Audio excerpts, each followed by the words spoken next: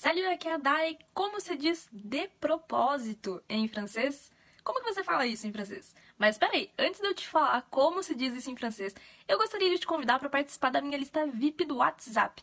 Lá eu vou enviar conteúdos como esse aqui e muitos outros também, você vai ficar por dentro de todas as novidades do francês com a Dai.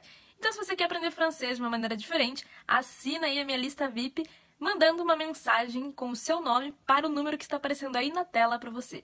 Pausa esse vídeo aqui, dá um print e manda uma mensagem com o seu nome para o meu WhatsApp, tá bom? Então vamos lá. Como se diz de propósito em francês?